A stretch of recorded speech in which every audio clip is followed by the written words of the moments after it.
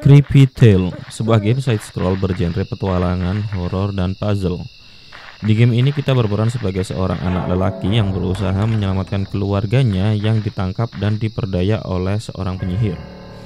Dalam perjalanannya, kita akan menjumpai berbagai puzzle yang harus kita pecahkan. Selain itu, kita juga harus mencermati pergerakan monster dan lingkungan agar tidak tertangkap si monster. Hal yang aku suka di series Creepy Tale ini antara lain Art stylenya yang cukup sedap dipandang, background musik yang cukup memberi suasana creepy, dan alur cerita yang cukup menarik. Terlebih di seri kedua terdapat plot twist yang ironis dan tragis. Sedangkan hal yang gak aku suka antara lain masih ada beberapa puzzle yang kurang intuitif di kedua seri. Kemudian playtime yang menurut aku masih tergolong cukup singkat.